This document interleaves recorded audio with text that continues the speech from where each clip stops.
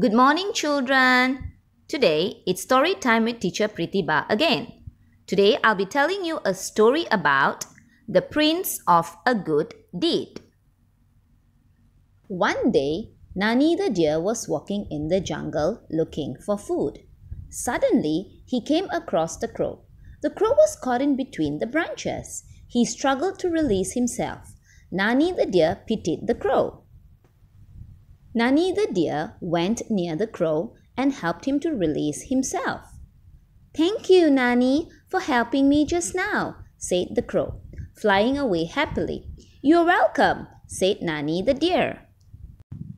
One day, Nani the deer found a lot of food. He ate happily. He also brought back some fruits for his mother. On his way back home, Nani the deer met the mouse. He was crying. Why are you crying, dear mouse? asked Nani the deer. I'm hungry. It has been quite some days since I have eaten, said the mouse. Nani the deer pitied the mouse. Don't worry, I have some food with me here. You can have these fruits, said Nani the deer. Nani the deer gave some of the fruits to the mouse. Thank you, Nani. You are indeed a kind deer, said the mouse. You're welcome, replied Nani the deer humbly. One day, Nani the deer fell into the hunter's trap. Coincidentally, the crow saw it. He tried to help but failed.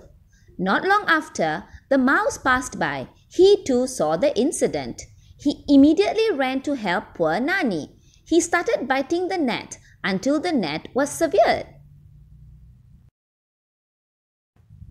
The crow, on the other hand, helped to pull the net until Nani the deer was free from the hunter's trap. Thank you for helping me, said Nani the deer happily. You have helped us once. Your kindness is always remembered, said the crow and the mouse. The three of them finally became good friends. The moral of the story is kindness and good deed will always be remembered.